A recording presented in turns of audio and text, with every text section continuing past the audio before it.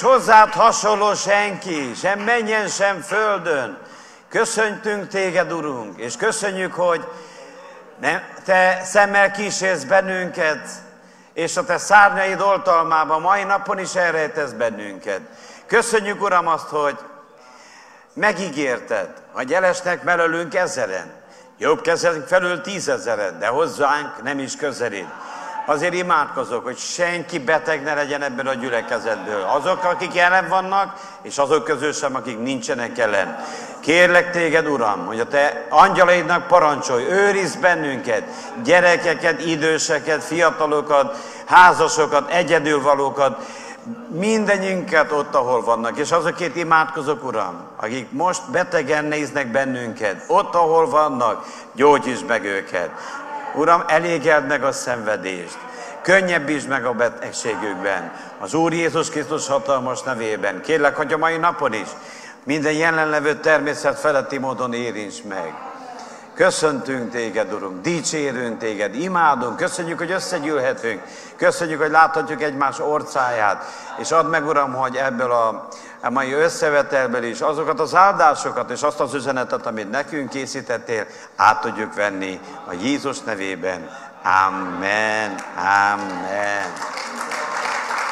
Halleluja. Nagyon nagy tisztelettel és szeretettel köszöntelek benneteket. És kérlek, hogy egymást is integetek, köszöntsétek, nem szabad közelről köszönteni egymást, de integetni szabad, sőt, használjátok ki a lehetőséget. Jó dolog, hogy láthatjuk egymást, Isten áldjon meg mindannyiótokat. Ha tehetném mindannyiunkat, mindannyiótokhoz oda mennék, köszöntselek, de most ezt nem lehet. Jó dolog dicsérni az Urat, és éneket mondani az Úrnak. És hiszem, hogy nem csak engem ragadott meg ez az ének, az utolsó ének, hogy az Úr az ő szárnyaival befedez bennünket. Fontos, hogy ezekben az időszakban is ne add át magad a félelemnek, mert van Istened, ne felejtsd el, ő sokkal hatalmasabb, mint a vírus, hatalmasabb, mint a... És van a 91. Zsoltárban, az van megírva, hogyha jobb kezed felől elesnek, bal kezed felől elesnek, hozzád nem fog közelíteni. Higgy ebben, erősítsed meg a hitetek ebben. Persze mindent tegyünk meg annak érdekében, hogy ne fertőződjön meg senki. A veszély valós, nem gondolom, hogy csak úgy egy elképzelt veszély lenne, de hiszem azt, hogy az Úr oltalma még valóságosabb, és számíthatsz rám. Nagyon nagy szeretettel és tisztelettel köszöntelek mindannyiótokat, és ma egy, egy, e, egy csodálatos történetet szeretnék felolvasni a Bibliából, Ábrahám életének egy e, e, rövidke történetét. Nem egy könnyű történet, de rendkívül tanulságos. Kérlek, hogyha hoztatok Bibliát magatokkal, akkor nyissuk ki közösen a Mózes első könyve 13. részéhez, 1 Mózes 13, Első 15 versét olvasok fel. Igazából tudjátok, hogy Ábrahám is egy utazó volt. Ő utazott, egész életét az utazást e, e, töltötte ki, egyik helyről ment, ő is vándor volt, úgyhogy mi is vándorok vagyunk. És nagyon sok tanulság van és hasonlóság van a, felolvasó, a, a, a felolvasandó igébe. Remélem, hogy nektek is legalább olyan izgalmas lesz, mint most nekem. Tehát 1 Mózes 13-tól olvasom. Feljöve azért Ábrahám Egyiptomból, Ábrám, de a könnyebbség könyvéről olvastam Ábrahámot, ő és az ő felesége is mindene valamilyen volt, és Lót is ő velem. A déli tartományban Ábrám pedig igen gazdag volt, barmokkal, ezüsttel és aranyjal, és minden helyről helyre, délfelől mind Bételig. Oda, ahol először volt a sátora, Bétel és Hái között. Annak az oltárnak helyére, melyet ott elsőben készített valam, és segítségül hívá ott Ábrahám az Úrnak a nevét, Lótnak is pedig, aki Ábrahámmal járt, voltak juhai, ökrei, sátrai, és nem bírá meg őket a föld, hogy együtt lakjanak, mert sok jószáguk volt, és nem lakhatának együtt. Versengés is támad az Ábrahám barompásztorai között, és a Lob barompásztorai között, és a kananeusok és perizeusok is Ott laktak valazon a földön. Mondd azért Ábrahám Lótnak, ne legyen versengés közöttem és közötted, se az én pásztoraim között és a te pásztoraid között, hiszen atyafiak vagyunk. Vagy nincsen előtted mind az egész föld? Válj el, kérlek tőlem. Ha te balra tartasz, én jobbra megyek. Ha te jobbra mész, én balra térek.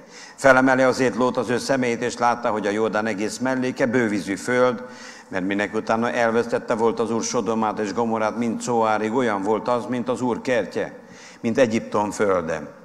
És választál Lót magának a Jordán egész mellékét, és elköltözék Lót kelet fele, és elválának egymástól. Ábrám lakozik van a Kanán földén, Lót pedig lakozik a Jordán melléki városokban, és sátorozva a Sodomái. Sodoma lakosai pedig nagyon gonoszok és bűnösök voltak az Úr előtt. Az Úr pedig mondta Ábrámnak, minek utána elvállal tőle Lót. Emeld fel a személyedet, tekints arról a helyről, ahol vagy északra, délre, keletre és nyugatra, mert mind az egész földet, amelyet látsz, neked adom, és a te magodnak örökre. Ámen. Ámen. Nem tudom, hogyha felismertétek-e a felolvasott igéből, de igazából egy profetikus történetet olvastunk fel. Azért izgalmas az Ábrahám és az atyák története, mert ők nem csak, hogy proféták voltak, hanem az életüknek minden egyes mozzanata profétikus volt. És ez a történet is igazából, ha jól megnézzük, egy utazást. Egyiptomból Bételig való utazást írja le. Ezelőtt is utaz, utazott, de tudjuk, hogy Egyiptom a fogságot jelenti, azt a, a, a múltat le, jelenti, amiben az ember születik. Mindannyian Egyiptomban születtünk.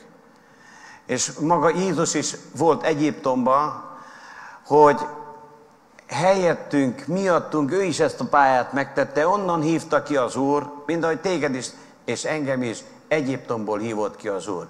Egyiptom a múltadnak a fogsága, a nyavajáival, szolgasságával, rabságával együtt.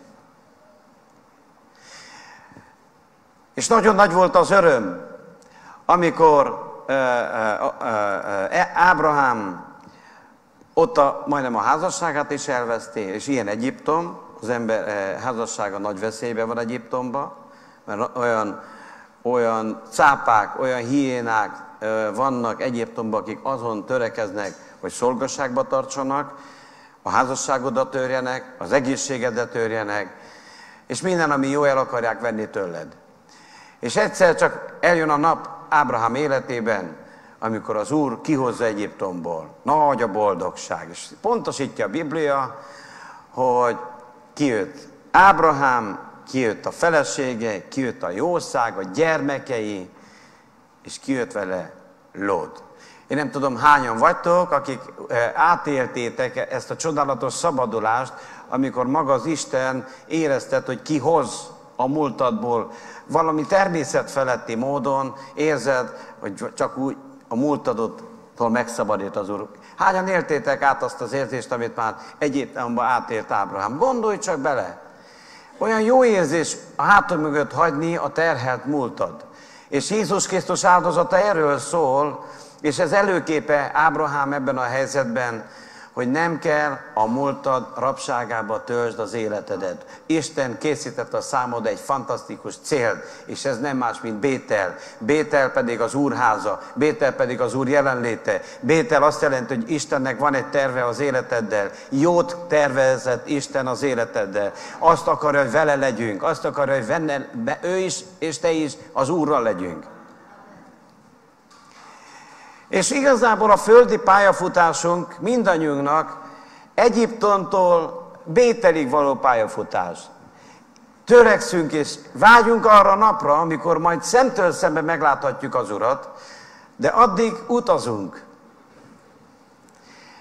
És nem tudom, hogy hogy vagytok, de én mindig nagyon meghatódok, ha arra gondolok, és eszembe jut az a pillanat, amikor az Úr megbocsátotta a bűneimet, kivett a, leszakította a bűneimet. Most is emlékszem, mintha levettek volna egy nagy terhet rólam. Csodálatos dolog úgy élni, hogy Isten nem haragszik rád. Csodálatos úgy élni, hogy Egyiptom terhei nem, nem kell cipeljed. És hogyha még te terhelve jöttél ide, van itt hely, Ádám? Keresel helyet? Itt is van hely, itt valaki az első helyet itt hagyta. Melletted is van hely. Van hely, azt mondja az Úr, én nálam a kősziklánál. Van hely a számodra, és az Úr megtervezte, és azt akarja, hogy szabadon éljünk. Nézzük meg ezt az utazást, mert nagyon sok tanulság van bennem.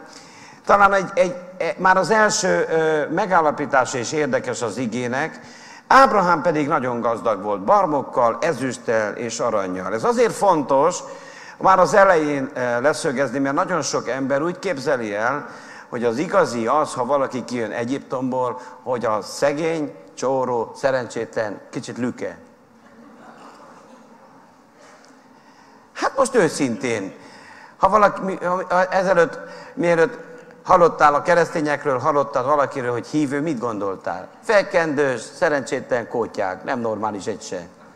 Egy kerekük pluszba vagy mínuszba van, de inkább mínuszba. Én is itt tekintettem, és nem egyedül voltam. Holott ezzel ellentétben azt megjegyzi az íge, és pontosít az íge, hogy Ábrahám nem lepusztulva, nem fél kotyásan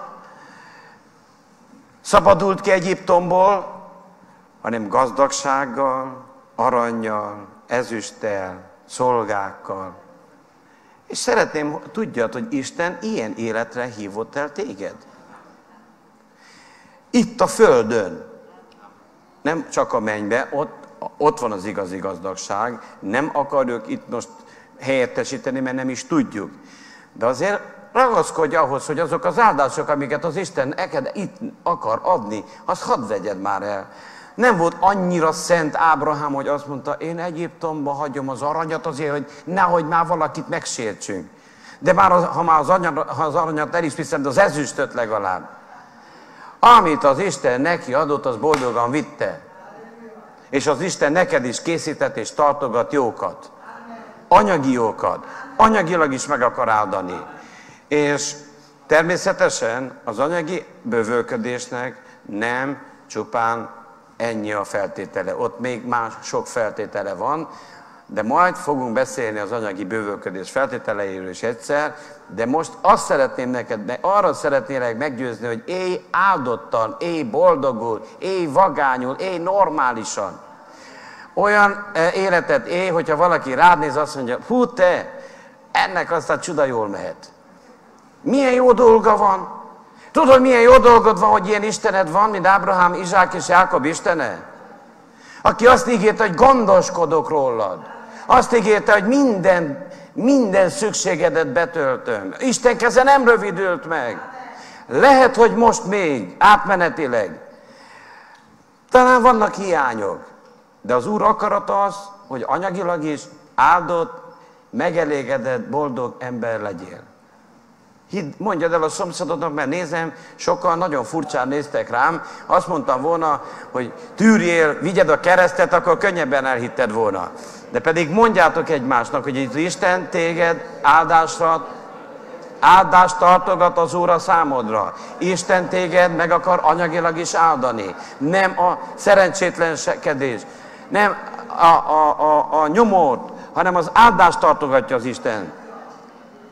Tudod, milyen az Ábrahám Istene? Nézd meg! Az Isten pedig hatalmas arra, hogy rátok árassza minden kegyelmét, hogy mindenben, mindenkor teljes elégségtek leven, lévén, minden jó téteményre bőségben legyetek. Mondjuk hangosan, nagyon hangosan mondjad, ha nagyon akarod ezt az áldást, akkor hangosabban mondjad, mint a szomszédod. Hogy az Isten pedig hatalmas arra, hogy rám árassza minden kegyelmét, hogy mindenben, mindenben, mindenben, mindenkor teljes elégségem legyen. Minden jó téteményre bőségbe legyen. Ez a Biblia, 2 Korintus 9-8-at olvastam, hogy jobb legyen még nem is az Ószövetségbe írja a Biblia, hanem az újba. Sokak pekére.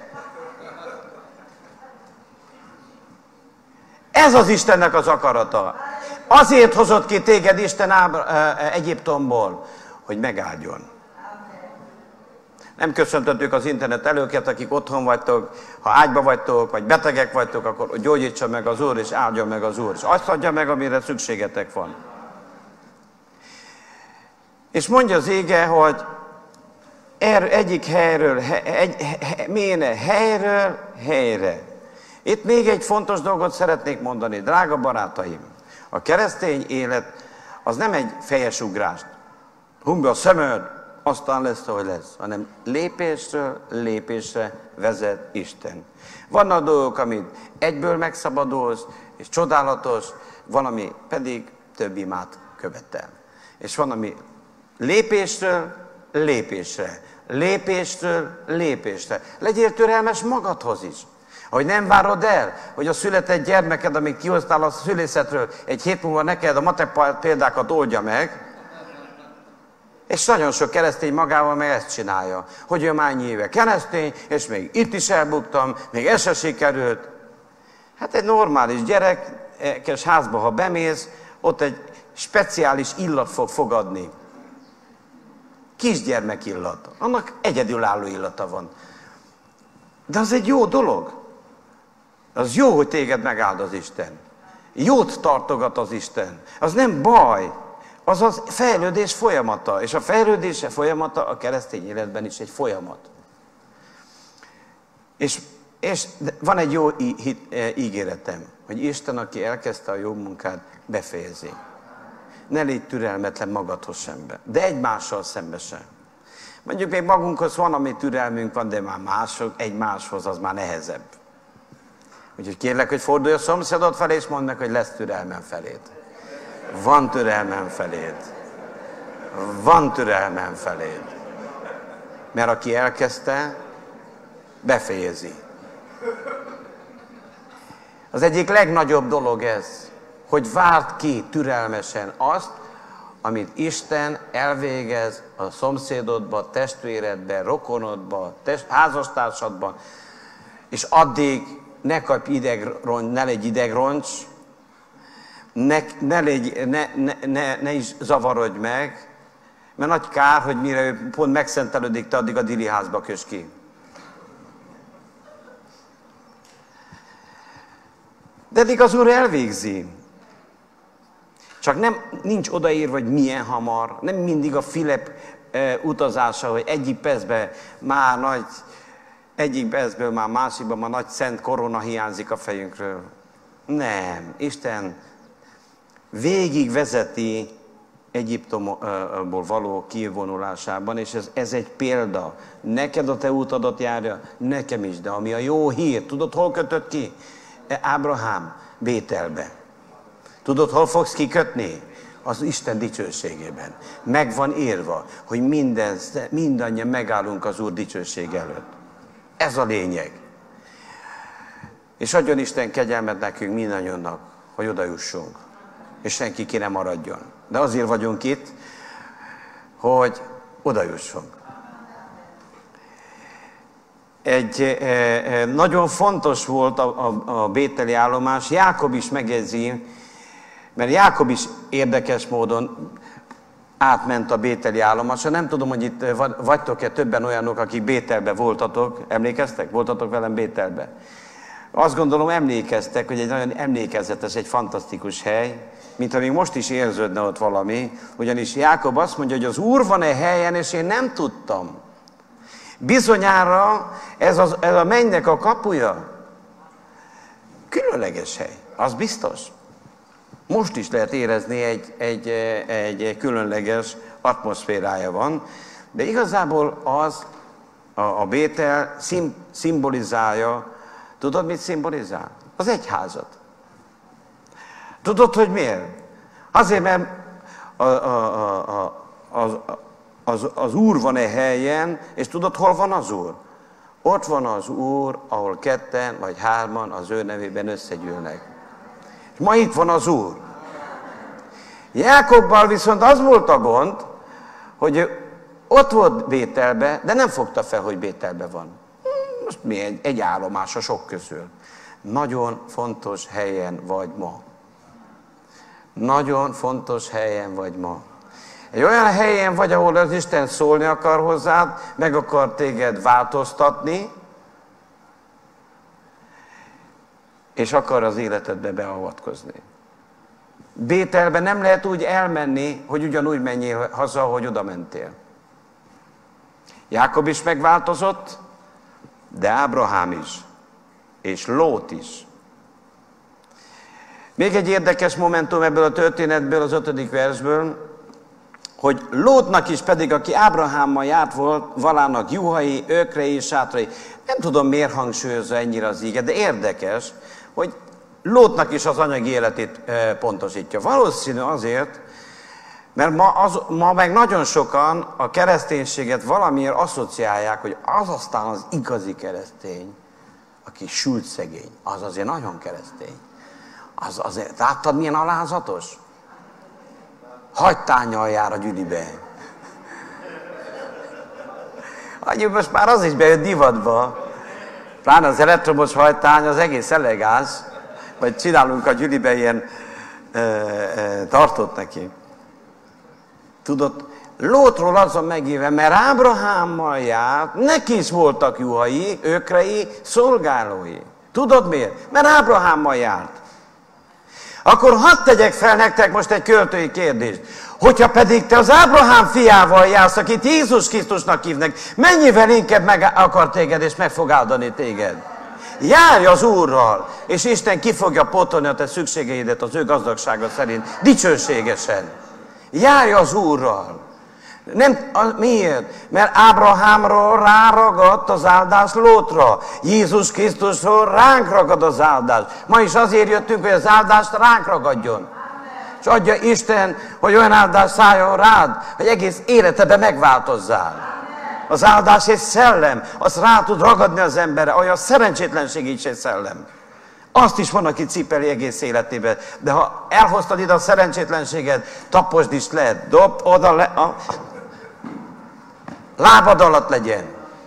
Hogy, mert mi, Galata 3.16 azt mondja, hogy Jézus Krisztus átok, átokká lett azért, hogy mi, Ábrahám, minden áldását örököljük. Úgyhogy mondja velem együtt, Jézus azért halt meg, hogy én ne legyek átkozott, hanem áldott legyek. Ábrahám minden áldását örökös, örököljem. Ábrahám minden áldását. Látjátok, egy, fel, egy felolvasott íge kétszer is jelzi, hogy Isten anyagi áldásokat tartogat a számodra. Az érdekes az, hogy nehezebb meggyőzni az embereket erről, mint az, hogy hülyék. A televíziót bekapcsolod, lehet látni, hogy manipulálják az emberek milliárdjait. De mikor azt mondom neked az Úr Jézus nevében, vagy az Úr téged anyagilag meg akar áldani, lehet érezni, hogy hát vajon én is benne vagyok ebbe? Vajon? Vajon én beférek? Még maradt neki vajon? Az amerikaiaknak nem adta mind oda? A te áldásodat senki nem tudja elvenni. Isten a te számodra speciális áldást készíted. A titok az, hogy jár Ábrahám fiával életed minden napján. És ne időnként az Ábrahám fiával, máskor pedig az ördögnek a fiával. Mert az ördög azért jött, hogy lopjon, öljön és pusztítson. És hogyha aki pedig az ördöggel jár, onnan meg, az meg ellopja, amit lehet. És sajnos sok mindent el lehet. De van, a, ennek az utazásnak viszont a, van egy váratlan fordulat a hatodik versben. Azt mondja az ige, nem bírál meg őket a föld, hogy együtt lakozzanak.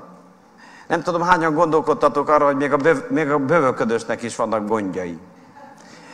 A szegénységről tudjuk, hogy milyen rossz, de a bövölködésnek is vannak kihívásai, nem is kevesek. Azt állítja az ige, egy olyan állomásra jutottak, amire nem volt még Ábrahám se felkészülve hogy mentek, mentek, úgy áldotta, áldotta őket az Isten, és egyszer az íge megállapítja, hogy nem tudtak tovább együtt menni. A megrázó az. És ezt lehet most is látni. Mennyi kapcsolat szépen működik éveken át.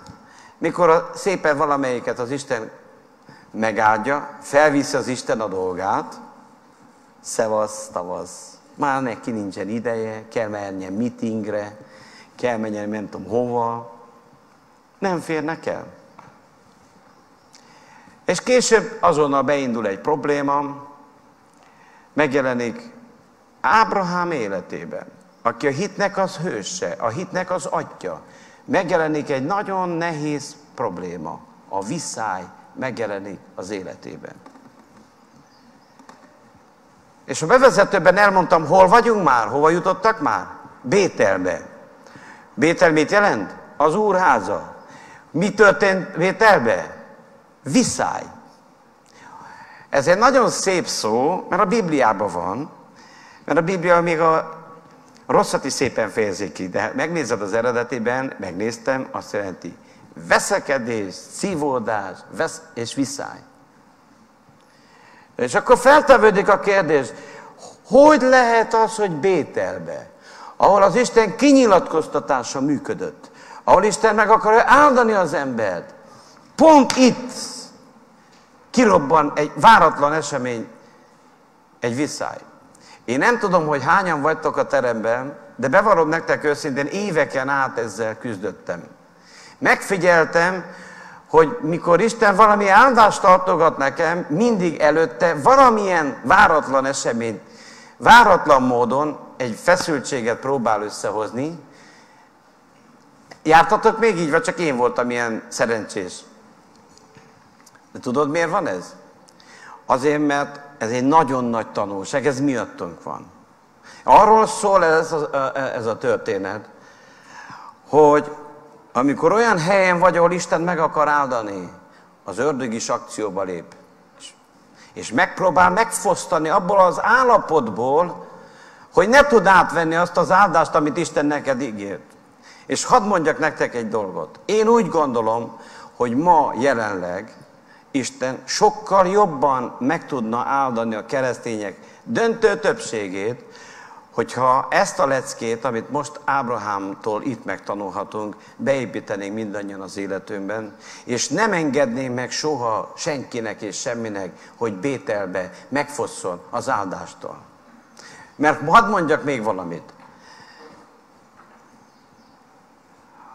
Ha Bételben nem elszalasztod az áldást, máshol nem tudod pótolni. Ez nem úgy van, hogy Á, nem, be hazamegyek, aztán majd helyre jövök. Képzeld el, hogy autóversenyző vagy, mondjuk a Forma 1-be. És csak hallod a rádióban, be ke, ki kell menni tankolni. Vagy bizonyára nekik is a bordon valahol jelzi, ha egyáltalán meg tudják nézni, hogy kell üzemanyagot tankolni. De hát tudjátok, hogy nagyon gyorsan kell azt csinálni, nem tudom, mennyi idő alatt csinálják. Pár másodperc alatt? Ó, hogy gyorsan telik. Mondjuk fél perc alatt feltölti.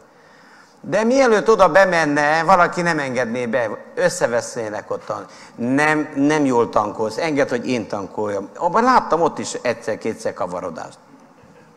Mi lesz, hogyha ott eltöltik az időt? Elveszíti a meccset. Elveszíti a versenyt. Na pontosan ezt akarja az ördög előkészíteni neked. Hogyha olyan helyen vagy, ahol Isten áldást tartogat neked, tudjon olyan állapotot, olyan feszült állapotot létrehozni, hogy ne tud élvezni, ne tud áldást venni, ne tud újra tankolni a lelkedet, szellemedet, szívedet, és üres tankkal versenyezzél nyugodtan, tudja nagyon jól, messze nem jutsz. Majd lökhajtásosan, mint a hajtán lökheted. Nem is tudok elképzelni annál nagyobb kellemetlenséget, leégést, lebőgést egy Forma 1-es versenyzőnek, mint 500 méterrel a finálé előtt üzemanyag nélkül áll, és fogja a fejét. Hogy voltam én ilyen figyelmetlen? Hogy nem tudtam jobban vigyázni? Miért nem tudtam megtankolni annak idejében? Az áldás vételének van ideje. Tudod mikor? Ma. Most. Amikor Isten jelenlétébe vagy. Ez a célja a gyülekezet nem azért van, hogy legyünk együtt, hogy ne legyünk szanaszéjel hanem azért van, a 133. Zsoltár egyértelművé teszi, hogy ahol együtt lakoznak az atyafiak, csak oda küld áldást és életet örökké. Azért jövünk össze, mert hiszünk abba, hogy Isten itt meggyógyít, megszabadít, megváltoztat, leveszi a köteleket, áldást szelleme megy rád, és holnaptól sikeresebb vagy. Holnaptól eredményesebb vagy. Lehet, hogy a szádra kell az áldás, és akkor lehet, hogy zibzát tesz a Szentlélek a szádra. Én nem tudom, milyen áldásra van szükséged, de pontosan neked is tartogat az Úr, és így változtat meg téged is, engem is. Ne engedd meg senkinek, hogy megakadályozzon téged. A veszekedés, a vetekedés, a vita, a feszültségek megakadályozzák az embert abban, hogy áldást vegyen, Bételbe is. A Földön akkor talán az volt a legforróbb hely, a legjobb hely, ott lehetett áldást venni. De áldás helyett mi van? Visszáj. És az én véleményem az, hogy az egyháznak ez a nagy problémája 2000 év óta. Hogy összegyűlnek a keresztények, de egyik azt mondja, szerintem így kell csinálni, másik azt mondja, de szerintem úgy. És mire eldöntik, hogy hogy, eltelt a 80-100 év, jött a következő generáció. Folytatja. És ez olyan Szabó család, ami nem csak 158 részletből áll, hanem egy egész 2000 éve óta ez zajlik. De úgy gondolom, hogy éppen ideje, hogy megtanuljuk a leckét. Barátaim, viszályjal, veszekedéssel nem lett áldott egy ember. Az, hogy eljöttél az Úr jelenlétébe, az nem azt jelenti, hogy fel vagy mentve ettől. Nem, mindannyiunknak meg kell tanulnunk a leckét. Hogyan tudjuk kezelni a feszültségeket. Hogyan tudjuk megoldani a, a, nézetkülönbségeket. És ne veszítsük el az Isten áldását, amit nekünk készített. Emlékeztek Anna és Paninára? Elmennek háromszor egy évbe az Úr jelenlétében. Nagy boldogság. Akkoriban csak háromszor járt a gyűliben. Hát egy gyűliben járt az egész, az egész e, Izrael. És azt tudjuk, hogy Peninát bosszantja, Penina bosszantja pedig Annát. És amíg nem tanulta meg a leckét Anna, azt olvassuk, hogy így lőn esztendőről, esztendőről. Valószínű 5-6 évig is tartott, amikor semmi más nem csinált Anna a gyülekezetbe, csak sírt. És mindig bosszankodva, valahogy lenyelte a könnyeit, elment oda, újra sértették. Én nem tudom, hogy te hogy vagy, de ha így éled a keresztény életedet, akkor van egy jó hírem. Ma ennek elég végbe szakadt nem kell többet te síránkozva menj haza. Te nem azért jöttél ide, hogy a könnyeidet nyeljed, hanem azért jöttél, hogy az Úr erejét nyeljed be. Azért, hogy az Úr ereje szálljon rád. Azért, hogy a kenet szálljon rád. Gyertek együtt, nézzük meg, hogyan lehet, mit csinált Anna, minden konfliktusból lehet tanulni, megnézzünk egy néhányat. Az Anna, Anna mit csinált, hogy oldotta meg? Neki fogott imádkozni. Ima életét oda szánta, és azt mondta, Uram, Szabadíts meg engem. Igazából tudod, mi lett az egészből? Penina segítette Annát ahhoz, hogy neki egy gyönyörű Sámuelje szülessen. És azok az emberek, akik ma téged sértegetnek, vagy csipegetnek, vagy kostolgatnak, vagy különböző szavakat használhatunk erre, ha az imádkozást választod, és oda, oda szánod magad az Isten keresésre, akkor téged nem, el, akkor nem ártani fognak neked, hanem te nyertesen fogsz kijönni. És igazából egész Izrael nyertesen jött ki, mert Sámuel egy hatalmas nagy proféta volt, és egy profetai korszak kezdődött Izrael életébe. Az egész hogy kezdődött? Két hölgy veszekedett. Az, az nem olyan nagy dolog, amit még láttunk, tehát azért, bocsánat, a hölgyeket nem akarom bántani, mert a férfiak se is tudnak veszekedni, de a nők talán egy fokkal könnyebben, talán nekik jobban sikerül ez. De mi lett a következménye? Sámuel. Nézzük meg egy másik történetet a Bibliában még. Például Miriam és Áron konfliktusa. Nagyon tanulságosak ezek a konfliktusok, nem azért fogom felemlíteni, hogy eltanuljuk, hanem hogy megtanuljuk a leckét. Miriam pedig és Áron szólának Mózes ellen a Kusit asszony miatt, akit feleségül vön, mert Kusit asszony vett fala feleségül. Látjátok, Miriam már milyen korán nagy e, rasszista volt, mert Kusita volt a, a Mózes felesége, egy kreol e, e, hölgy volt. Mi volt az oka ennek? És nagyon sok konfliktusnak ez az oka. Ellenőrizd el, hogy nem ez az oka bizonyos konfliktusaidnak? Olyanba szólt bele, amihez semmi köze. Senkinek semmi köze, hogy te neked ki a feleséged. Nem neki kell tetszedjen, hanem neked. És az úgy elég is.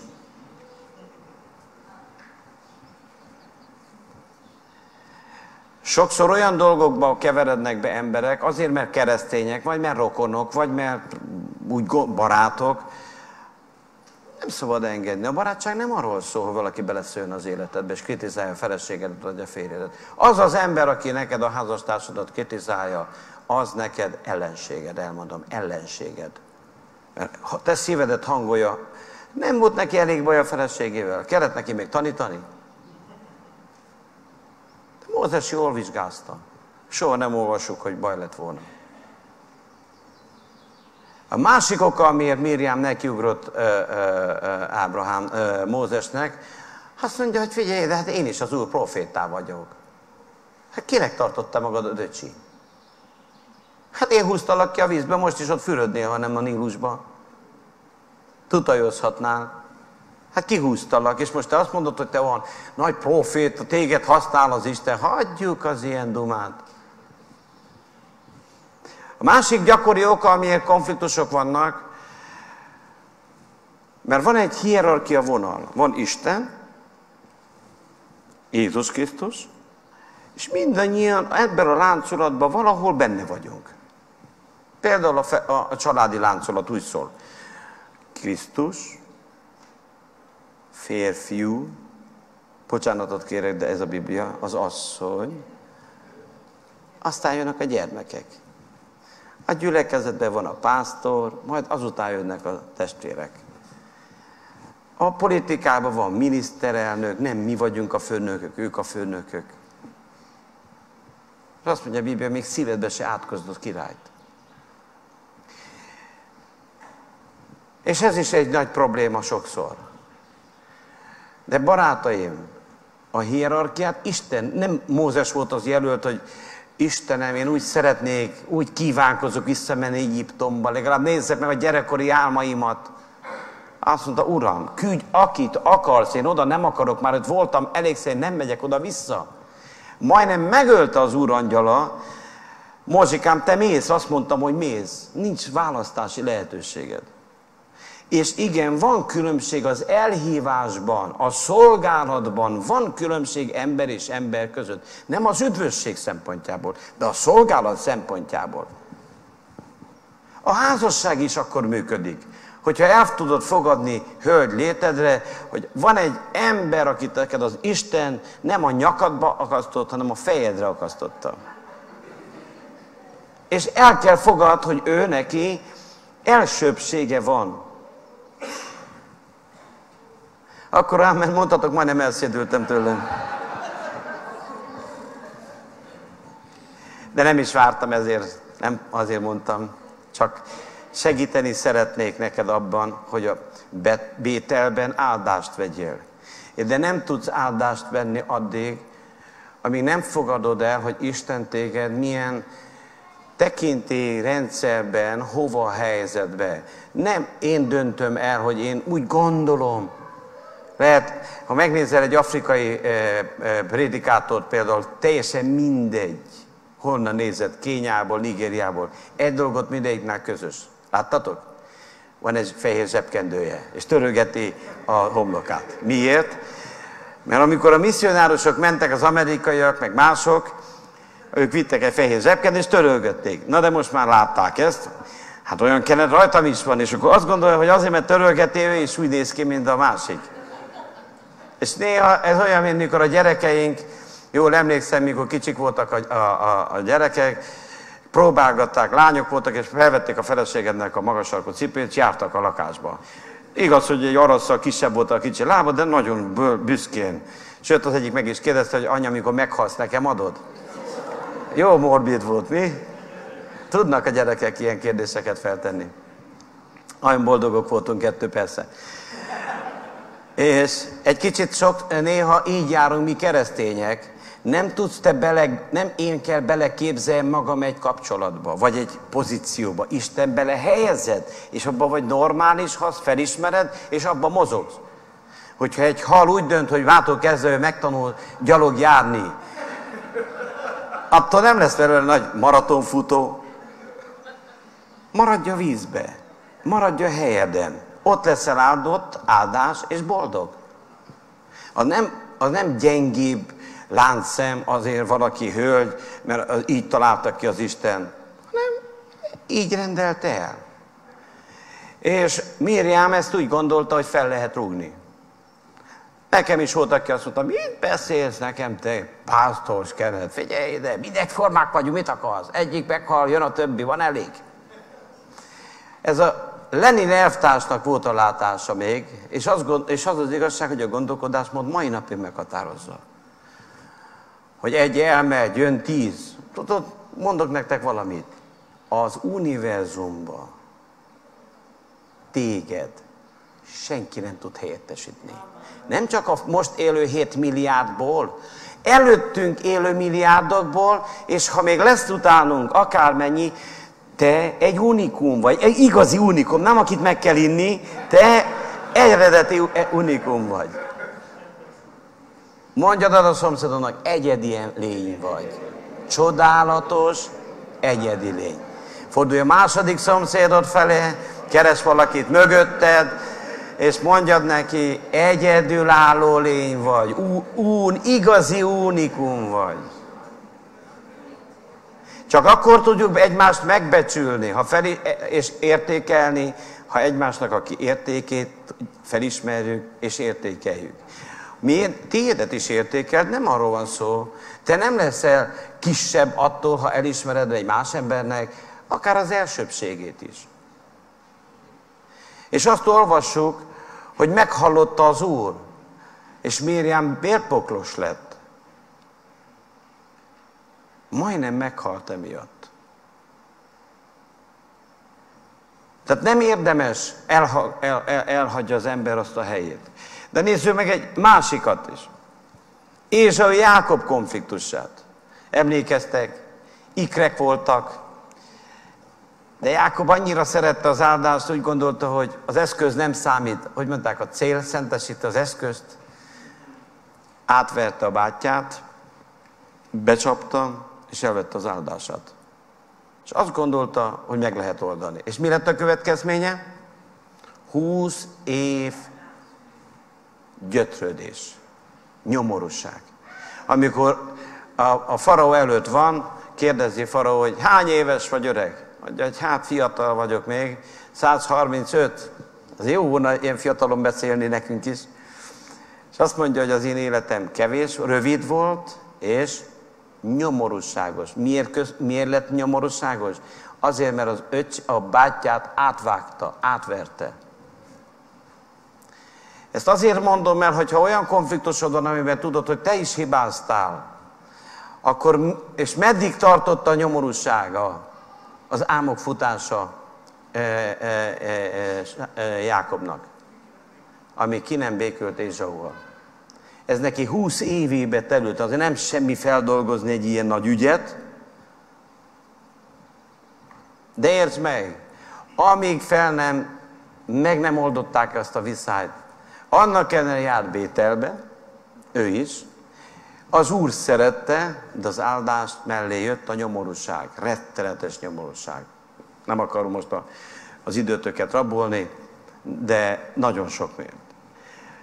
Nagyon tanulságos.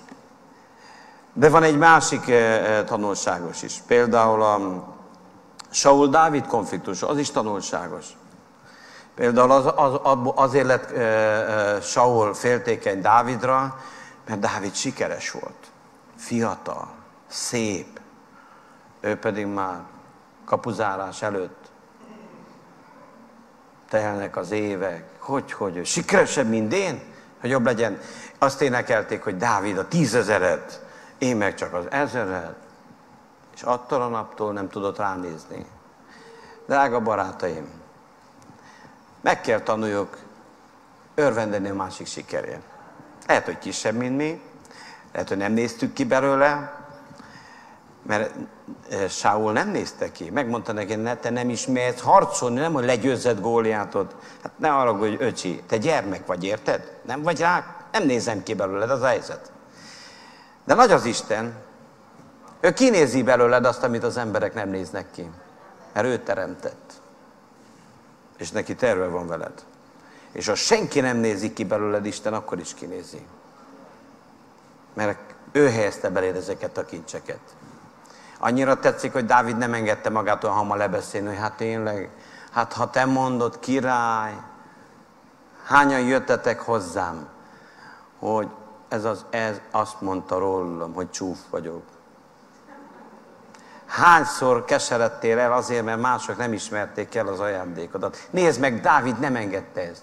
Kihúzta magát, azt mondta, hát de én leütöttem a medvét. Látta, nem tudta meggyőzni. De leütöttem én az oroszlánt is. Hú, gyermek, azt mondta, tényleg hős vagy. Na jó, na jó, hát, hát, hát ilyen, akkor menjél. Ott megígért azt is, hogy leüti Góliátot is. És le is ütötte. De a győzelem után azt várnád, hogy jönnek és mindenki gratulál. Annyira vagány voltál, annyira jó volt, gratulálok, halleluja, csodálatos. Látod egy-egy arc. Hogy, hogy, áldja meg az Úr. Az irítség fájna, hogy ordítanának az emberek az utcán? Vonyítanának, mint a farkasok télen? Értsd meg, egy olyan gonosz világban élünk, amikor az embereknek fáj a sikered. Picit halad az ember, és már mindjárt, hogy honnan, miért? Most is emlékszem, ezelőtt vagy 20 éve, mikor vettem azt a Renault-ot? Legalább 20 éve. Vettem egy Renault. 7 éves, 7 éves volt, emlékszem, mikor megvettem, olyan boldog voltam. Jó állapotú volt, tényleg szép nézett, de nem egy új autó. Erről jön a szomszédom, jó, ezt is becsületes munká, hogy ilyen autót nem lehet venni. Egyből ő tudja a tutit. Annyira örült neki. De én örültem, meg majd napig is örülök. Az Olcskavasban Mercedes van belőle már, de azért még mindig örülök neki. Drága barátaim, ne engedd meg, hogy a keser, a, a, az irigyeid meggátoljanak, de értsd meg, hogy vannak olyan konfliktusok, amik elkerülhetetlen konfliktusok. Nem le, ha az életben jársz és mozogsz, nem tudod megúszni. Lesznek olyanok, akik irigyek, lesznek olyanok, akik haragoznak. Ha előre haladsz, ez vele jár. Sok évig keserű napja volt Dávidnak ezért. Mind addig, amíg az Úr meg nem azt mondta, hogy elég. Míg ő is azt a leckét meg nem tanulta, amit neki kellett megtanulni. De miért? Mire használta fel Isten őt erre? Egy csomó Zsoltárt írt. Az 23. Zsoltárt nem olvasnád, hogyha nem kergette volna. És még több Zsoltát olvasod. Ezt akkor írta, amikor kergette őt Saul. Dójék kergette, ezt kergette. És mit csinált? Írta Zsoltárokat és lett belőle egy olyan férfiú, aki Isten szíve szerint volt. És nem véletlenül lett olyan nagy király, azért, mert egy ilyen szív lett. De ez a szív ilyenné vált? Tudod? A nyomorúság alatt. És vannak olyan konfliktusok, amik jó konfliktusok, de mi volt igazából ennek a konfliktusnak a, a, a, a szellemi háttere? Korszakváltás. Lejárt az a korszak, hogy ő csak ott fújja furójáját, és teregeti nyáját, és a kenet korszaka jött el. És, amikor, és amikor korszakváltás van az életedben, akkor mindig vannak konfliktusok. Ha az Úr felemel egy szintről a másik szintre, számíthatsz konfliktusokra. Ha a családba mész feljebb, ha gyermekeid születnek, ha házat építsz, ha szép autókat veszel, ha szépen öltözöl fel, ha valamilyen területen előbbre halad, mindig vannak, akik örülnek szépből, és mindig vannak annak, akik nem. A jó emberek örülnek, a rosszak nem. Nem téged minősít. Ez a konfliktus nem Dávidot minősítette, hanem Sault minősítette.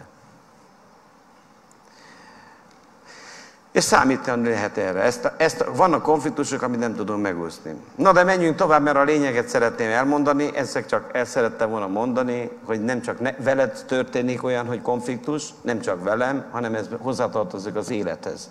De nekünk el kell tanulni azt, amit Ábrahám tudott. Tudod, mi volt Ábrahámnak a nagy titka?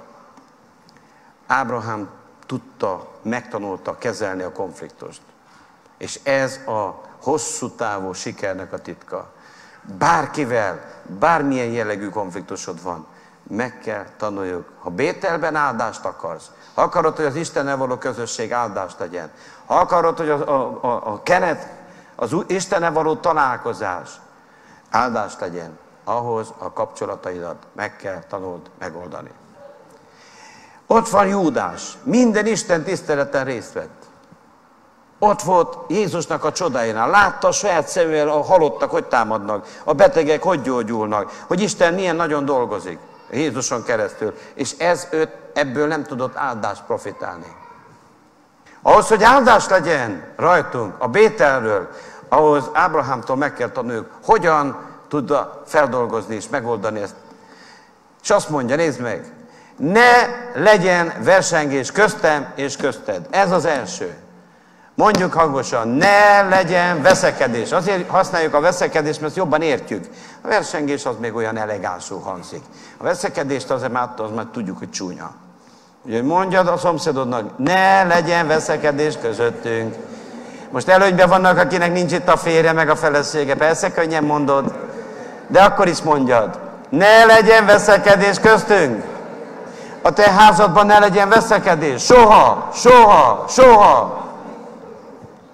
Nem arra hívott el az Isten bennünket, hogy veszekedjünk. De nézzétek meg, folytatja ö, Ábrahám, de a te pásztoraid és az én pásztoraim között, az én gyermekeim és a te gyermekeid között. Hányszor látok olyan, összevesznek a, a, a család valamelyik tag, és akkor az egész család megy segíteni haragudni. És eltelnének évek, már nem is tudják, hogy mi volt az oka, de hát már megkezdtük, már kell tartsuk. És az egészre egy dolgot mond Ábrahám, mert mi atyafiak vagyunk. Mert mi testvérek vagyunk. Egy vérből vagyunk. Jézus Krisztus váltott meg bennünket. Mi nem veszekedhetünk. És azért hadd mondjak nektek egy kritikát. Ma ugye ott van a Trianonnak az évfordulóra, nagyon sokan gyászolják joggal, és gyászolni való is, de azért elmondott nektek egy dolgot. Ahogy mi magyarok tudunk veszekedni, szerintem én a Földön nem tudom, melyik nemzet, aki ezt utolérne minket ebbe. Tíz körrel hagyjuk magunk mögött a többieket. Megvan az eredménye. Érts meg, a veszekedésből nem tudsz kijönni győztesen. A veszekedés egyenlő veszteség. Mondjuk együtt. A veszekedés egyenlő veszteség. Minden veszekedés, minden veszekedés veszteséget okoz. Akkor is, ha igazad van. Dávidnak igaza volt Saullal szembe. Mit vétett Dávid? Semmit. Szenvedett a veszekedés, legalább tíz évet. Úgy kergették, mint egy gyilkost. De ne gondold azt, hogy azért, mert te nem vagy hibás, ne gondold azt, hogy te nem adtál okot rá, engem nem érdekel. De érdekeljen, de imádkozz érte. Miért mondja a Biblia, hogy a te ellenségednél is imádkozz, hogy minél hamarabb Isten szabadítsa meg abból a konfliktusból, mert akkor is érint, ha te nem voltál e- ebben hibás. Az új szövetség azt mondja, a békességnek Istene megrontja a sátán a lábad alatt hamar.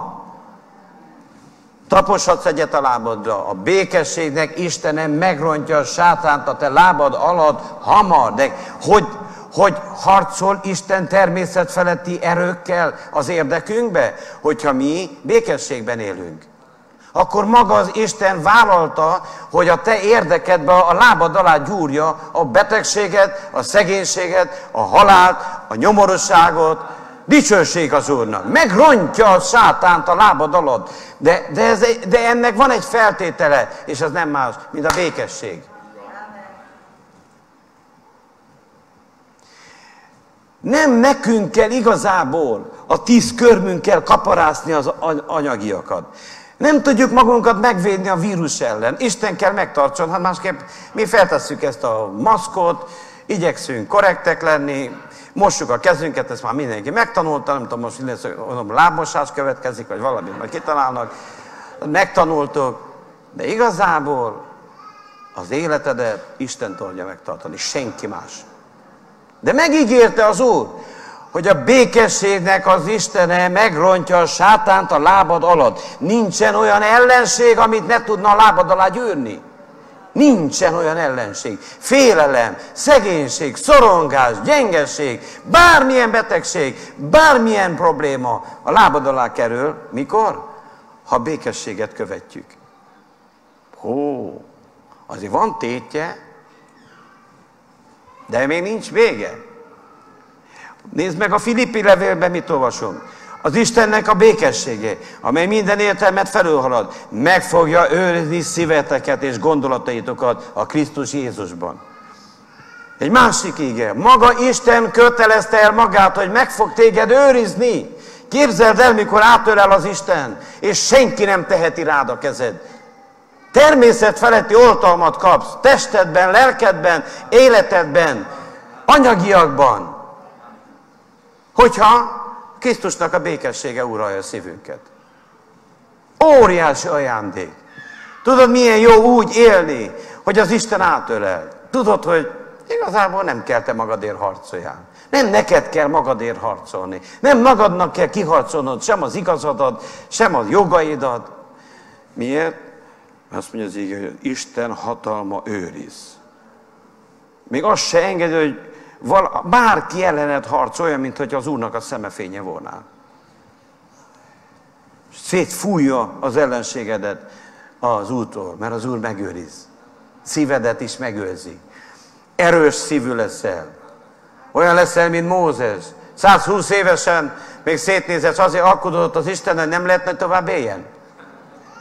Ő be akarna menni még, még a, a, a, a, a Kanaánba. És, de, és oda is harcolni akart, és nem azért, hogy a, valamelyik Azil de Bötrönbe kibéreljen egy szobát,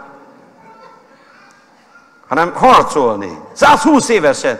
Az Isten kellett nyugtassa, figyelj ide, Mozsikám, elég volt, nagyon ügyes voltál, de trecsen rezerve, hálkásze. 120 évesen, és róla mondja az ige, erős szívű volt. Drága barátaim, a Szent Szellemből, Isten erejéből egy olyan erő árad, hogy még a fizikai szíved is jól fog verni. Ha még a szíveddel van probléma, akkor tejed a kezedet a szíved, és mondjad, Mózes erős szívű volt, erős szívű volt. Én is erős szívű leszek az Úr Jézus nevében. Nem fog, nem, nem szívdobogásod sem, magas vérnyomásod sem, alacsony sem, kicsi sem, nagy, hanem pont jó.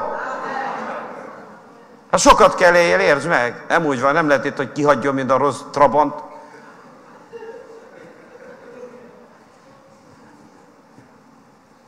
Megőrzi a szívedet.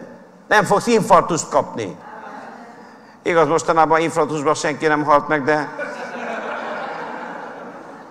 mondja az ég, hogy még a gondolatod is, is megőrzi. A gondolataidra vigyázz az Úrnak. Képzeld el, hogy az Isten el, kötelezte magát abban, hogy a gondolataidat segíti. Ne kelljen te állandóan azt, ének, eh, azt a verset mondani, hogy egy gondolat bánt engemet, hanem, egy, hanem minden gondomat az Úr elvette. Köszönöm, Uram, hogy gondol, rá, rajtad gondolkodhatok éjjel és nap. Ugyanis a gondolkodás nagyon meghatároz. Látszik az arcunkról, miről gondolkodtunk. Meséltem már nektek, hogy lebuktam egyszer. Hülyeségeket gondoltam, és találkoztam egy jó barátommal. Az, hogy te veled mi van? Meg voltam győződve, senki nem tudja, mire gondolok. Ő se tudta, csak az, veled mi van? Hát úgy néztem ki, hogy el volt torzulva az arcom. Ha rosszul gondolkozol, eltorzulsz. De az Úr megígérte, hogy az Istennek a békessége által megőrző a gondolataidat. És mikor idős leszel, akkor nem kell neked a pórázon vezessenek az úton, hanem akkor is normális ember leszel. Idős korodra is tudsz tanácsokat adni, normális leszel. Nem mindegy, hogy miről gondolkodol. Tudod, mit mond a Biblia a civakodásról és a veszekedésről? Mert ahol irítség van, és civakodás van, és háborúság van, ott mindenféle gonosz cselekedet van. Na de nézzük meg, mert nem ez a lényeg, hanem inkább az a lényeg, hogy hogyan állította a helyre Dicsőség az Úrnak, ilyen elegáns gyereketek van, de ha az előtérbe vinétek, ott jobban halszanak. És mi is jobban bírnánk. Azt mondja az íge, nézzük meg, gyertek együtt, hogy hogyan lehet, he, sajnáljuk, hogy nem tudunk gyerekszolgét biztosítani, de most már beszéltünk a, a délőtt, hogy talán minden gyereknek egy fél szobát, ha tudnánk adni, és elosszuk minden gyereket külön. Nem tudom, hogy lehet őket maszkkal megtanítani, valahogy megtanítjuk majd. De, de már foglalkozunk azzal, úgyhogy addig megértéseteket kérjük, és nagyon nagy türelmet gyakoroljunk, és tapsoljuk meg a szülőket, hogy van nekik kis gyerekük. Ez óriási ajándék. És gratulálunk nekik. Azt mondja, nézzétek meg, mit mond, eh, hogy lehet helyreállítani egy kapcsolatokat, és igazából, ha eddig nézd meg a szomszédodat, ha véletlenül aludt, akkor most költs fel, mert most elaludt, ez előfordul mindenkivel, jó meleg van. De most figyeljetek, van négy dolog, amit érdemes megtanulni, hogyan tudjuk helyreállítani a feszült kapcsolatokat. Hányatokat érdekel? Többi eljöhet megtérés a végén. Avagy nincsen előtted mind az egész föld, válj el kérlek tőlem. Ha te balra tartasz, én jobbra megyek. Ha te jobbra mész, én balra megyek. Az első dolog, amit láttunk Ábrahámnál, tudod mi volt? Benyújt egy áldozatot. Azt mondja, tudod mit, én lemondok, te döntsél. Ezzel kezdődik a kapcsolatok helyreállítása. Vállalj be az ezzel járó áldozatokat. Áldozat nélkül nem lehet kapcsolatokat helyreállítani. Tudod, hogy Isten hogy állította helyre az emberiséggel a kapcsolatát? Úgy, hogy Jézus Krisztust elküldte, és nem aranyat, nem ezüstöt, hanem az ő vérével fizette ki. Áldozat nélkül nem megy. Úgy, hogyha tartom, ha csak megint nyertes akarok lenni. De nekem van igazam. Kinek volt igaza? Ábrahámnak vagy Lótnak? Nem kérdés szerintem, hogy Ábrahámnak. És mégis ki, adta, ki hozta az áldozatot? Ábrahám. Az egy, azzal kezdődik, ha akarok egy kapcsolatot, hogy mit fizessek, hogy békesség legyen köztünk. Mit kérsz, csak fejezzük be ezt a feszült kapcsolatot. És sokszor olyan apróságokon múlik, olyan apró, kis dolog, viszonylag kis dolog. Remélem, hogy meg tudtalak győzni, hogy nagyon nagy horderő, nagyon fontos a békesség. Na most nézd meg, ha minden áldást, amit az békességben Isten nekünk ad, a bételi áldásokat, nem éri meg azért hozni egy áldozatot? Szerintem megéri. Lehet, hogy még fizetni kell, lehet egy kis ajándékot, lehet, hogy valamit tenni kell, de értsd meg, áldozat nélkül nem megy. Ha ezzel lépünk, hogy figyelj ide, nekem volt igazam, mi lesz? A veszekedés folytatódni fog, mert mindenkinek igaza van. Hát nem azért veszekedő, mert nincs igazunk, mi mindenki meg vagyunk győződni, mindig igazunk van. Miért én nem vagytok meggyőződve, hogy néztek, hogy már minden. Én nekem mindig igazam van, mikor veszekedek. Mindig. Meg vagy győződve róla. Száz százalékosan. Hát azért ragaszkodunk a véleményünkhöz. A, a furcsa az, amikor a barátunk, testvérünk is ugyanígy meg van győződve, és fomlok egyenest. Na, akarod rendezni a kapcsolatot? Akkor kezd el áldozni. Hozd neki. Mit tudjak csinálni? Veszel egy ajándékot. Figyelj ide. Hogy lehetne ezt elintézni? Mert szeretném, hogy legyen békesség közöttünk. Ez nem azt jelenti, hogy most hónaptól neked a legjobb barátod kell legyen, vagy a legjobb barátnőd, de az, az azért fontos, hogy békesség legyen. Második, második nagy titka, amit Ábrahám tett. Azt mondja, hogy válj el, kérlek tőlem. Lehet, hogy egy kicsit rosszul hangzik, de egy nagyon fontos dolgot mond ki. Távolság legyen köztünk. Nagyon sok konfliktusnak semmi más baja nincsen, hanem túlzott, a túlzott közelség. Azt mondja a Biblia, ritkán tedd a te lábad a te fele barátod házába. Ritkán. Ez azt mondja, ritkán, havonta egyszer, két havonta egyszer, egy évben egyszer. Ha gyakran mész, akkor borítékolva van, hogy bizonyos kapcsolatok porrá mennek. És nem az a probléma, hogy tőle megy az a kapcsolat, az a baj, hogy be egy feszült kapcsolat, ott van Bétel, telnek az évek, és nincsen áldás. És mit tudom én, Pali, a Maria, Kati, az András, mit tudom ki, hol, hol van, az abból adódó hibából, hogy nem tartottunk megfelelő távolságot, a, a, nem kell mindenkivel egy e, e, bizalmi e, kapcsolatot képíteni. Hát a kezed sincs minden tagoddal bizalmi kapcsolatban. Hát az ujjaid a kezed fejével van. A hajammal nincsen direkt kapcsolata. Csak mikor megvakarom a fejemet. De külön mindegyiknek önálló. És ugyanígy kell a kapcsolatokban. Körülbelül öt ember a Földön, akivel érdemes, hogy bizalmi jó kapcsolatot építsen közember. Nem sokkal több. De talán még ennyi is. Nagyon, ez a maximum. Más emberre távolságot. Örülök, hogy látlak, hello, szia. Még azt se kérdez meg nagyon, hogy hogy van. Mert már, már akkor azt, tudod erről, hogy is azt fogja mondani, köszönöm, jól. És akkor ez nem is biztos, hogy igaz.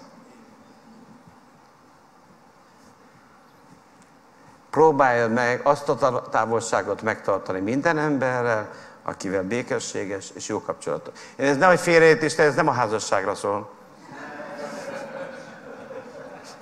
Hogy azzal menjész, mondja, megmondta a pásztor, mától kezdve, tessék kínálódni a csűrben. Hónapban egyszer feliratkozol, és majd jelenkezel, majd SMS küldök, mikor szabad a... Nem, nem. Ez baráti, de elsősorban testvéri kapcsolatokra érvényes. Ne keverd össze a testvéri kapcsolatokat a baráti kapcsolattal. Nem kell mindenkivel barát legyél. Testvér igen, de barát nem. Na, le vagytok törve, nem lehetok ami barátom se. Lehet, csak mondom. És még mond az íg, hogy amennyire rajtatok áll, minden emberrel békességben legyetek. És még a példabeszédek tanít egyet, talán ezt érdemes még megtanulni tőlük, Salamontól, a tűrés által engeszteltetik meg a fejedelem, és a szerint beszéd megtöri a csontot. Ha, be, ha békességet akarok építeni, akkor mit kell? Szelíd beszéd. Mondjuk szelíd beszéd. Szelíd. Türelem. Ez a két kvalitás kell. Türelem és szelítség türelem és szelítség. Egy, tű, egy nagy türelmű emberrel és egy szelid emberrel szerintem elég jól ki lehet békülni már. Előbb-utóbb csak kibékülünk. Ámen? Én úgy, hogy még ezt egy gyorsan elismételném, mert szerintem nagyon tanulságos és nagyon fontos áldozatot hozni, és nagy áldozatot is megér a békesség. Nagy áldozatot. Ha kell, sok pénzt fizessél mert sokkal nagyobb áldást kapsz az Isten jelenlétéből. Legyen meg az egészséges távolság, türelem és beszéd. Amen. És nézzük meg gyorsan. Lót mit csinál? Boldog. Azt mondja, megyek. Csak van történik valami. Konfliktuskor mindig történik valami. Sodoma képviselője ott van, és próbál kicsalni. Hány embertől hallottad? Nem megy gyülibe. Miért? Az ilyen, az olyan. Érte valami konfliktus, futunk Sodomába. Nem azért szabadított ki téged az Úr Egyiptomból, hogy Sodomába menjél. Sodoma az élvezetek korszaka. Sodoma az élvezetek világa. A testnek a, a kultusza. Nagyon, a, nagyon nagy haragút rá az Úr. Hogy ne, Isten kihozta Egyiptomból Lótot, de ba, balga módon Sodomába ment. Csak azért, mert, nem lehet, nem, mert ő úgy döntöd. Nem lehet volna muszáj neki Sodomába menni. Mert ugye sokszor szoktunk beszélni, hogy miért hagyta ott Ábrahámot. Nem az volt itt a nagy probléma, hogy ő elköltözött Ábrahámtól, mert ezt Ábrahám tanácsolta neki. A probléma az volt, hogy bement Sodomába. Mehetett volna a dom túlsó felé, és azt mondja, Ábrahám, én, én itt, akkor dombon túl, akkor, ha megengeded. De én azért szeretnék közeledbe lenni. Az áldás hat jöjjön rám. Lakhatott a nyugat. Az egész föld előtted van. Csak számára a Sodoma volt a vonzó. De most nem akartam erről sokat beszélni, inkább arra akarom mondani, neked akarom mondani, magamnak, ha, ha konfliktus ér vételbe, ha konfliktus ér a gyülekezetben, ne Sodomába fuss, hanem az Úrhoz fuss. És meg kell tanuljuk feldolgozni, mert megéri. Ábrahám ezzel szemben tudod, mit választott? Kanánt választotta, az ígéreteit választotta, az Isten akaratát választotta. És nézzek, mi történik. Minek utána? Elválik tőle Lót, az Úr pedig szólt hozzá. Ha elrendezed a kapcsolatodat, mind ezek után fog hozzád szólni az Úr. Nem előtte, előtte szólok én most az Úr Jézus nevében, rendezd el a kapcsolatot. Ezután fog hozzád szólni az Úr. Olyant, amit egész életedben vártál. Nézd meg, mit mond. Ábrahám új korszak jön az életedben. Tekints fel! Emel fel a személydet, északra, délre, kelete és nyugatra. Tudjátok, Bétel az körülbelül középtájt van Izraelben. Bármerre nézel, neked adom. Egy új korszak lesz az életedben, az ígéretek korszaka, a kijelentés korszaka, a látás korszaka, új látásokat kap, megoldásokat. És még van egy e, záradékul csak csupán egy, és a dicséretet közben kérem, hogy jöjjön fel. Egy nagyon fontos igazság van, hogy miután lerendezzük, és a te magodnak adom azt. A te magodnak. És nagyon rövid idő múlva kiszületett meg Izsák. De addig nem született meg Izsák, amíg a feszült kapcsolat tartott. Drága barátaim, hiszem, hogy az Úr nagyon sok áldást tartogat még a számunkra és a számotokra, de ennek vannak előfeltételei. Én nem tudom, hogy hányan vagytok azok, akik érzitek, hogy aktuális volt ez az üzenet. Van ilyen személy? Akkor kérlek benneteket, hogy, hogy álltok fel, és vezetne egy imába, amiben meg kérjük, hogy az Úr segítsen bennünket, és megtanuljuk a leckét, és engedelmeskedünk Istennek, hogy a kapcsolatrendszerünket Isten igény szerint átalakítsuk. Ámen? Kérlek, hogy mondjátok hangosan és bátran utána, mennyi atyám, én az Úr Jézus nevében jövök hozzád, és beismerem, szükségem van rád, szükségem van rád. Kérlek téged, minden kapcsolatomat, szenteld meg, amíg feszült, azt gyógyítsd meg. Megalázom magam, Uram. És köszönöm azt, hogy olyan csodálatos ajándékot adtál. Krisztust kaptam meg Bételben. Uram, kész vagyok helyreállítani a kapcsolatrendszerémet. Kérlek téged, adj nekem bölcsességet, adj lehetőséget, amennyire rajtam áll, minden emberrel békességben éljek. Bocsánatot kérek, Uram, a türelmetlenségemért, veszekedésekért, ideges beszédekért, de megalázom az én szívemet. Szelid, és alázatos leszek. És tűrelni fogok. Tűrni fogok. A te segítségedet kérem hozzá. Jézus nevében. Kérlek Jézusom, most meg a szívemet, egész lényemet, változtass meg engem. Tégy alkalmassá, hogy veled, csodálatos Jézus Krisztus, csodálatos Atyám, megújult kapcsolatom legyen. Jézus nevében. Ámen, ámen. Dicsérjük az Urat!